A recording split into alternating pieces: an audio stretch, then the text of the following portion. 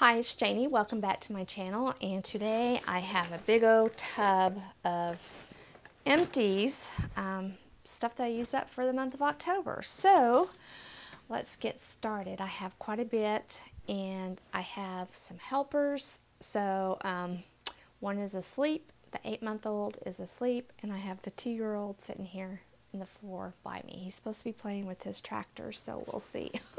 we'll see how this goes. So anyway, um, couple makeup remover wipes that I've used up. I use these just mainly to do swatches and here in my makeup room to wipe down my vanity, stuff like that. Don't actually use them to take off makeup. Anyway, um, Clinique um, Clarifying Lotion number three.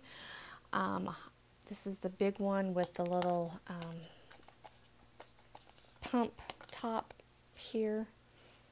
I think the last couple ones of these that I've got, I've purchased at the CCO at the outlet mall, but you can get these at Sephora and Ulta. I use this twice a day, every day, probably for the last 20 years. love it. Will definitely be repurchasing it. This is a great um, exfoliator. I like to use it just to make sure that I've gotten off any residue of makeup that may have been left behind from my cleanser of the morning. Is great to um, cleanse the skin, um, getting off any of the dead skin that's on the face that uh, my skincare products that I put on the night before, you know, always use some type of AHA, BHA, or a retinol that's supposed to be doing a chemical exfoliant. This really helps with um, sloughing off all of those dead skin cells of the morning time. Definitely will be repurchasing. Um, matter of fact, I need to repurchase one because I just opened up my backup one. From Manyo Factory, their Rosehip Oil Mist. Love this stuff. I think this is probably my third bottle of it. Um, on my last backup of it, um, I'm not for sure what what website I ordered this from. But anyway, I use this as my very last step of makeup application. I just spritz it all over my face. It really just kind of um, brings down that powder look and just really helps to moisturize my skin. I have dry skin. I just love this. And it's probably the best um, spray that I have found that works the best for moisturizing my face and I just really like this. I like it a lot. And like I said, I've purchased it quite a bit. It's the Rosehip Essence Balancing Mist. A multi-benefit lightweight mist that hydrates and balances the complexion. Naturally sets makeup and refreshes the skin and senses. I'm try I don't remember manufactory. It may be the manufactory. That may be the website that I get it from. And I could kick myself because not too long ago they were having a sale and they had this on sale for like really cheap. And I was going to order a couple of bottles of it, but it was during the time frame where I was sick and I just didn't get it ordered. And I wish I would have. Wished I would have ordered a couple bottles, but I did it um, a brush head from my Clarisonic. This is not the one that's in here. It is this one here, which I think is the regular one. And this is just too rough for my skin.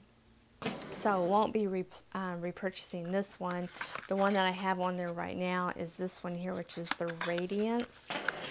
But um, this one is almost too rough for my skin. I have to make sure that I'm very, very um, light-handed when I use my Clarisonic.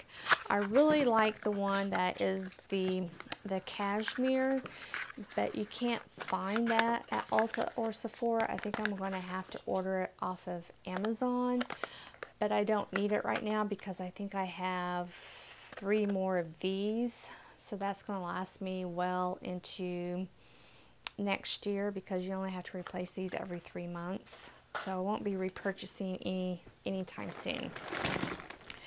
I have a Epsom salts from Dr. Teal's. This is the shea butter and almond oil, which is really good for this time of year because not only are you getting the benefits from soaking in Epsom salts, but you're also getting some moisturization in your bath, which I highly recommend. I like those.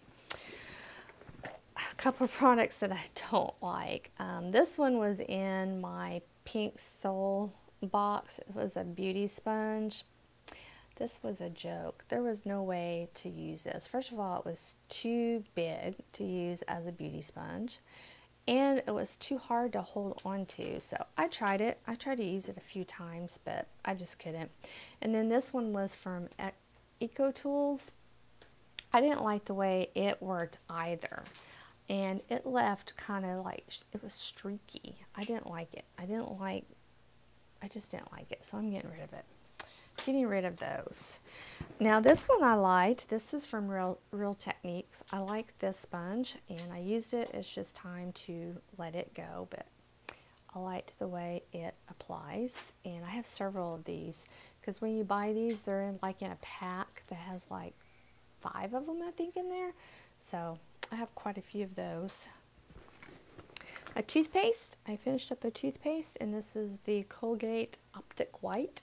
Um, I like this for helping to keep my teeth um, free of stains. Mad Hippie, this is a vitamin C serum. I will not repurchase this. I didn't really care for it. Um, yeah, I just didn't really like it. I had different ingredients in it that I didn't care for. And it had um, konjac root, ferulic and hyaluronic acid in it. No, I just didn't, I didn't really think it helped with brightening. And it was, I no, I just didn't like it. I did, I mean, I used it all, but I don't like it. I didn't like it. I don't know why, but I just didn't like it. So I'm not going to repurchase. Here's another product that was a vitamin C product. This is from The Ordinary. And I was going to reorder this, but um, Ulta doesn't carry it and Sephora doesn't carry it. Even though both of those places carry The Ordinary, they don't carry this particular product, but it's the 100% L-ascorbic acid powder and it's just a vitamin C powder that you mix in with any type of product that you have like whether it be a serum or a moisturizer or an essence. And that way you are um, mixing your vitamin C fresh every single day. And it came with this little scoop. And you didn't need the full scoop only a half a scoop would suffice and that's what it looked. I mean, I really scraped that out, and this lasted a really long time. I liked it, and I felt like it did a really good job. But like I said, neither one of those places carry it. Now you can go into the Ordinary website itself and order it, and I may I may do that later on. But um, yeah, I liked it, and I felt like it worked pretty decent. There was another one that I used to like from um, Philosophy, and actually Philosophy, I there for a long time was the only people, the only brand that I knew of that had a vitamin C powder that had the only concept where you could mix your vitamin C fresh every single day until the ordinary and then they had one, and I know um, um, Good Molecules, is that it? They have one too, but theirs has other ingredients in it other than just the L-ascorbic acid like this one does. So anyway, contemplating repurchasing that, but like I said, you have to go into the um, Ordinary website to get that finished a MAC powder and this was uh, the mineralized skin finish powder in warm rose and I'm pretty sure that this has been discontinued because I got it at Dillard's. They were doing it on sale like was it 40% off? I ordered I purchased like three of them so I had been using this as a finishing powder or as a setting powder and I really did like it. I liked the color of it because it had a little bit of a pink tone to it which I have pink undertones to my skin. So I have a couple more in backup so I can't really say I would go and repurchase it because I don't know if it's still available but I do like it and I will be back to macking that container there. But I did like it. Um, from the Ordinary, lactic acid, 10%. Um, I very much get along very well with lactic acid. Um, I first introduced to lactic acid with the Sunday Riley Good Genes, but I think this works just as well. And of course, this is a whole lot cheaper than the Sunday Riley Good Genes, so I do recommend that if you're looking for lactic acid, try that one from The Ordinary. And of course, you can get it from Ulta or from Sephora now. Let's see, from Klairs, I have this oil here. Was it oil? Uh, the Midnight Blue Youth Activating Drop. This was intensive EGF peptide treatment. This took a long time for me to use because um, I would forget to use it for one thing because it was one of those products that it was a really thin product so you would have to use it kind of early in your skincare regime and I would just forget to use it so I didn't really benefit from from it because I just I wasn't consistent with using it. It came in a kit came in from Wish Trend like a Black Friday deal or something a couple years ago. But anyway, it had blueberry extract in it, um, some other products. Um, so I can't really say if it worked really good or not. Um, I can't say that it that it um, lived up to its claim because I didn't use it consistently, but I did finish it. Would I um, go out on my way to purchase it? No. So, now this stuff I did like. This was a deluxe size sample. It's the IT Cosmetics Bye Bye Under Eye Eye Cream. This was very, very moisturizing. This was even more moisturizing than the um, Bobbi Brown um, eye cream that I always talk about that I think is very moisturizing. So, um, if you're looking for an eye cream that you just want something that's just very hydrating, I think I hear the baby, then I would go with this over the Bobbi Brown because this was really hydrating and I really, really liked this. And if I didn't have so many other eye creams to use, I would definitely be buying one of these. Matter of fact, I'm going to put this on my Ulta wish list and my Sephora wish list so I don't forget about it because I really did like that. Oh, I have another ordinary product. Oh, this was the caffeine solution 5% for under the eyes. It was supposed to help, you know, with puffiness and stuff. This thing looks really, really gross. I had this for a while. It was okay. I don't think then I'm going to purchase anything else that is supposed to have like the caffeine and stuff in it. I'm not going to repurchase this. I have one from um, Good Molecules right now that came in last year's um, Lucky Bag. It's okay. I don't really, once it's gone, I'm not going to purchase it either, but mm, yeah, I'm not going to repurchase it. It was all right. I used it. They always make me feel um, dry underneath. So I don't really like that.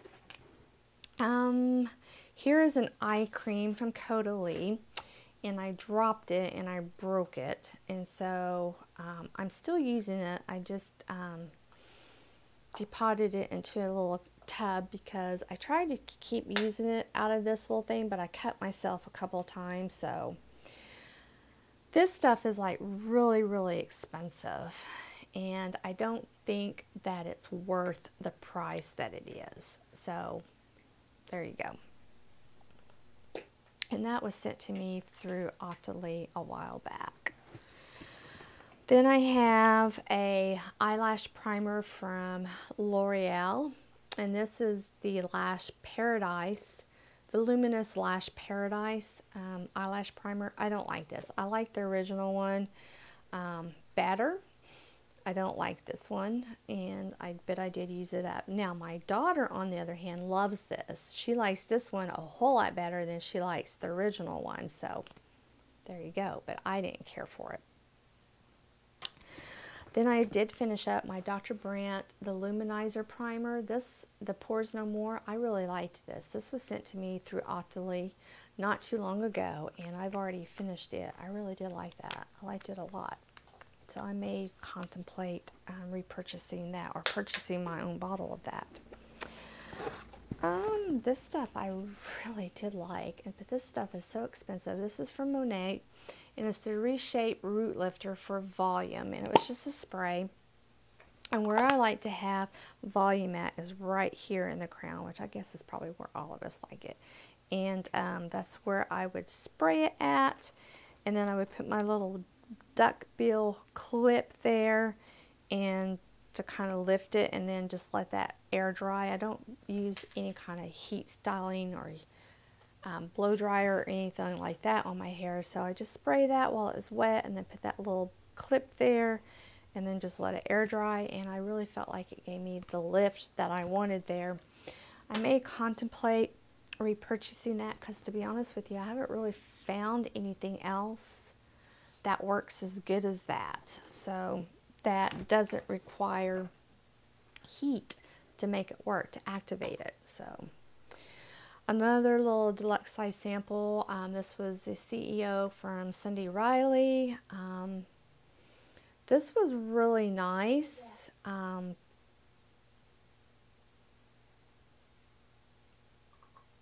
but it's just so expensive. This had vitamin C in it. and I mean, you could really, it, you could see it working. You could see the effects of the next morning. I would use it at night. But it's just so expensive. And there's other products that have vitamin C. That's a vitamin C moisturizer in it. Um, Ole Henriksen has one that's cheaper than this that works just as well. So definitely won't purchase the full size of that, but it was nice to have to have that one. Here's another product that is, in my opinion, is overpriced, and that's from Drunk Elephant. It's the B-Hydra Intensive Hydration Serum. You can find other products that work just as well as what this does, but Here's another product too that everybody talks about and just thinks it's the greatest thing. And if you've been watching, you know, the Sephora uh, recommendation videos, a lot of people are recommend, recommendate, recommending this product. I didn't, I bought into the hype a while back and bought this, but I didn't see it, but it's from Charlotte Tilbury it's the Magic Cream. It's supposed to treat and transform it's right here. I've been using it. I've had it for a while and I pulled it out and thought I need to use this up before it goes bad. So I've been using it as a basically like a primer, moisturizer slash primer. So, but it didn't work miracles. It was okay, but I'm not going to repurchase it, especially for what the price of it is. So anyway, it is what it is an SK-II facial treatment essence. This stuff is really nice. It's a really good essence, but it is not worth the price tag that they charge for it. By no means. By no means. Maybe half of the price tag that they charge for it, yeah, but not what they charge for it full price. No. But it's nice to get those little deluxe size samples though. And then I did use up an eyeshadow, and this is in the color um, Vanilla.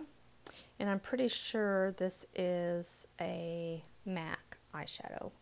And this was a color that I would just use as an all-over um, base or to create an all-over eyeshadow canvas for the, the eyelid.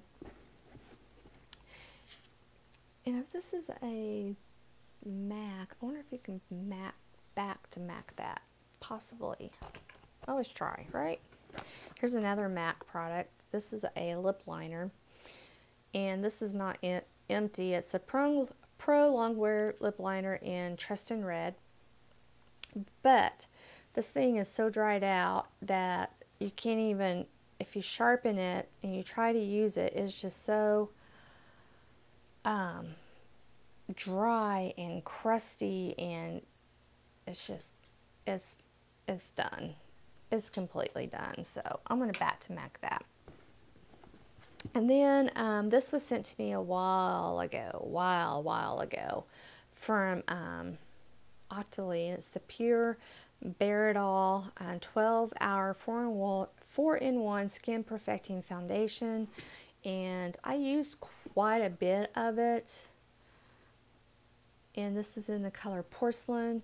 And it's just too drying and too heavy of a foundation for me. So I am getting rid of it. I mean, it's, I mean, you can tell I use, I use quite a bit of it. I'm really surprised I use as much as I did of it, but I am letting it go. It is going away. Uh, a lipstick that I finished, and this is from Smashbox. I really did like this. I liked the formula. It was very long lasting, but it wasn't overly drying. And this was in the color it was the Always On Liquid Lipstick in the color Boss. B-A-W-S-E. And I just really liked it. As a matter of fact, I didn't really want to pull it out out of my makeup bag. This is what I carried in my purse with me. Because I liked it so much, but it was just getting really, really hard. Hard to pull out. It was, it was dried out. because I just wore it so much. I really liked it.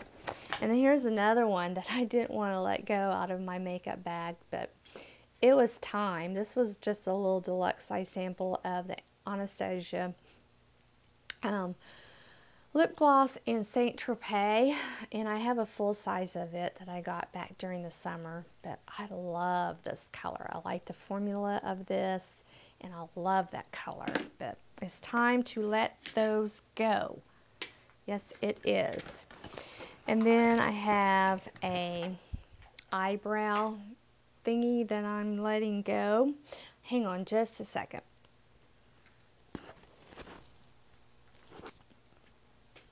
Tossing all those empties down the floor and he's down there playing with them and I'm afraid he's going to get a hold of that and cut his finger. So I'm putting that back there. But anyway, this is a from Benefit, the Ka-Brow in the color 1. And it's not quite gone, but almost, but it is dried up. So I'm calling it, I'm calling it gone. I mean, because that is, that is pretty darn empty for being eyebrow product, right? Pretty darn empty. So that is gone. I just have a couple more things in here. I Have some of my little razors that I have used to do my dermaplaning that are doled out now and then a different gel. This is the Adapalene gel 0.1% that I use on my off nights that I'm not using my tretinoin. Really like that. And this little this little container, I bought this way back during the summer. I think I bought it in May. So last May, June, July, August, September, October. It lasts me six months because it just takes a small amount, just like small pea size amount to do the whole face. And I especially like it for my chin area and my forehead area, especially the chin because that's where I get those um, hard, inflamed, um, cystic type bumps that never come to a head. They just get red and inflamed and just hurt. I hate those things. And then I used a, a Erborian CC cream sample. I really I liked this when it first went on. When it first comes out, it's just like a white cream, and then it um, adjusts to your skin tone and matches your skin tone.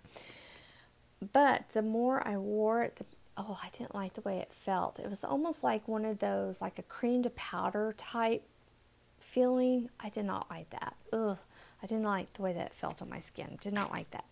And then I used a um, coconut milk and a organic honey cur curl care deep conditioner. And who was this from? Was this Hosk? I think this was Hosk. One of these little thingies that I got from Ulta in one of those little freebie things. I think this was Hosk. Hask, Hosk. Yeah, Hask. It was okay. My curls really didn't like it. They're just picky. So that is it for my empties. And um, yeah, he was good. The baby's still asleep. We made it through. in pretty good time also. So anyway, thank you so much for joining me today. I hope that you enjoyed, and I will be talking to you soon.